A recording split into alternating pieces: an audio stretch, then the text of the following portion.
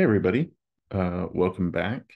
Uh, we're going to shift gears a bit. So, we spent a lot of time talking about statistics uh, and what we would call things like quantitative literacy, uh, things like hypothesis testing, our proportions talk, our data visualization things. Uh, so, we're going to shift quite a bit and take down another topic that is uh, pretty important when it comes to kind of how we live specifically uh, in the US and how a lot of other countries live. And that is uh, how do we determine who wins when we vote?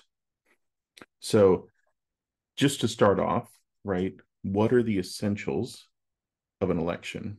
So, when we talk about voting, we may talk about things that are more than just a political election, but we're going to frame it in this terminology. So, we need voters, right? We need people to actually uh, give their preference, give their choices we need either candidates or choices, right, for people to actually choose.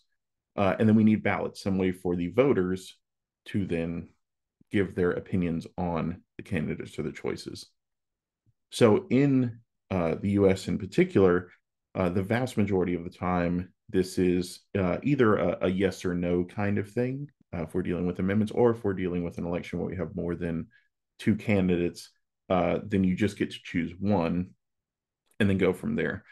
Uh, so we're going to make this a little more interesting because there are other systems that use what is called a preference ballot. And so in this case, if we had three candidates rather than just choosing one, what we would do is we would rank them from our most preferred, our first choice, all the way down to our last choice. So rather than choosing one, we would rank them in order. And we call that a preference ballot. So we would submit this ballot where we've ranked our choices, say uh, candidate two, then candidate one, then candidate three, right? And that would be my preference ballot. Uh, we're going to stick to what we call linear preference ballots, which just means we're not going to have ties. So I'm not going to say, well, candidate one and then two or three is, you know, it's the same. I'm going to have them tie. So we're going to actually rank all of them. Uh, and then once we collect all those, we'll build something called a preference schedule, which is just a nice way to look at uh, all of the preference ballots combined. So uh, we're going to vote on a, a bunch of things. Now, uh, we are going to do this uh, in the comfort of your own home. Uh, so if you have uh, family members around, or if you have friends that you want to ask uh, who won't think you're too nerdy for asking a question like this, um, then go ahead and do the following for me. So I want you to pick three somethings to vote on. So I'll give uh, my choice here. Uh, my choice is going to be um, chicken finger restaurants, uh, specifically for three of them. Right, I'm going to do Cane's, I'm going to do Zaxby's, and I'm going to do Foosackly's. Right, those are my three. So Cane's, Zaxby's, and Foosackly's are going to be the three things, and then I'm going to have everybody rank the three. So whoever I choose to ask, is going to rank the three of those, and then I'm going to compile all of those together. So what I want you to do is is try this, even if you just make something up uh, at your desk while you're watching this. Um, make something up, ask some people, get all these preference ballots together, and then see if you can surmise who would win in that election. Right? Uh, doesn't have to be chicken finger places.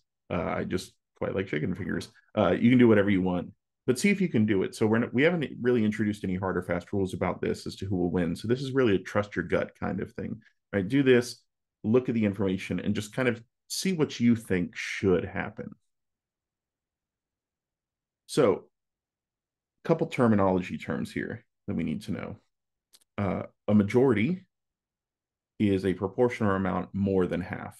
So anything above 50% counts as a majority uh, sometimes we don't have a majority of something, but there is usually a largest amount of something.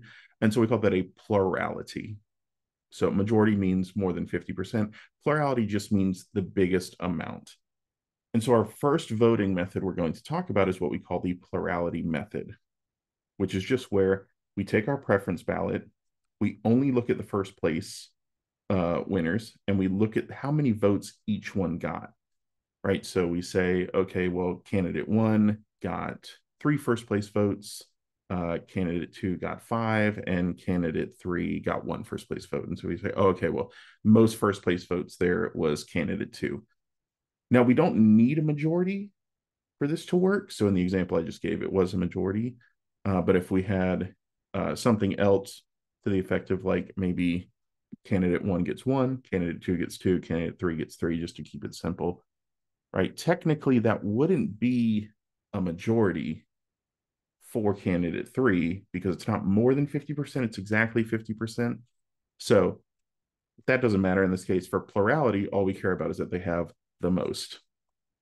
Right. So this seems like the most obvious way, and this is probably the one we're most familiar with as far as how our actual system works. So this is this is going to be a, a short lesson, but what I want you to do is take a couple minutes, right, and just think about is there any other way you could think of where we could make a voting system, right, a way of counting these preference ballots uh, that wasn't just who won the most first place votes.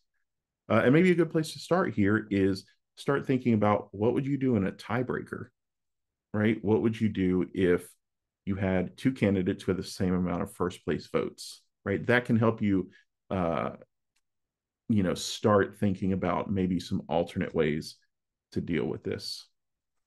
So I will leave you with that.